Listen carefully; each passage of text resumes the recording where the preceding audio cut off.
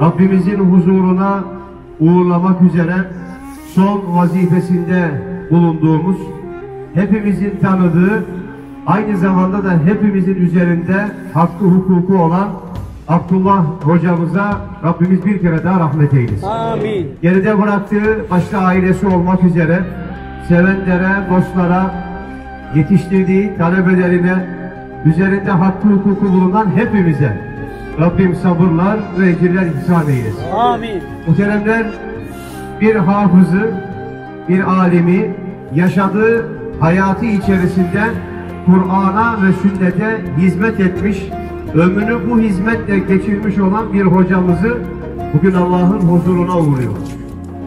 Giden yapmış olduğu hizmetleri yol arkadaşı ederek Kur'an-ı Azimuşşan'a hizmet etmesiyle beraber ümit ediyoruz ve inanıyoruz ki yüksek makamlara, derecelere uğurlanmak üzere gidiyor. Ama uğurlayanlar için hepimiz için büyük bir kayıp, hepimiz için de aynı zamanda alimin ölümü, alemin ölümü gibidir buyurulmasıyla bize de bir musibettir aslında. Allah gidenlerin yerini dolduracak kalitede insanlar yetiştirmeyi hepimize nasip eylesin.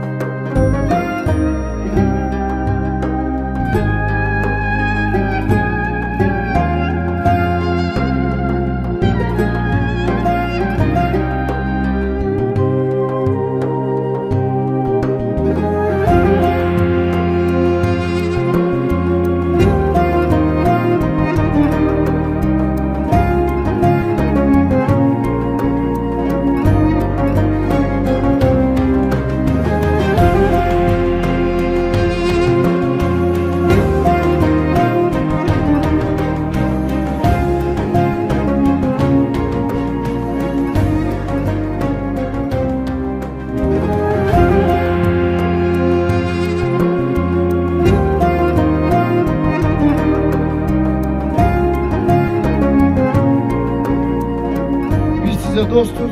Rabbim Habibine dost eylesin inşallah. Haklarınızı helal edin.